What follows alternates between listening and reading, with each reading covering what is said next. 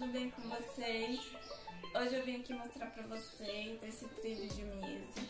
Ele é que eu não vou conseguir mostrar totalmente aberto, mas depois eu mostro uma foto pra vocês verem ele aberto inteiro.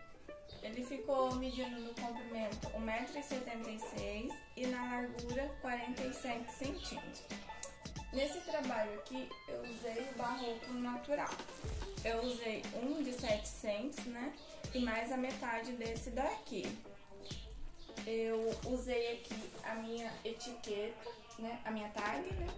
Com minhas redes sociais. E daí, o que vocês acharam desse modelinho? Se vocês gostaram desse modelinho, deixa um like, se inscreva no canal e deixa um comentário lá pra mim. Um abraço e até o próximo.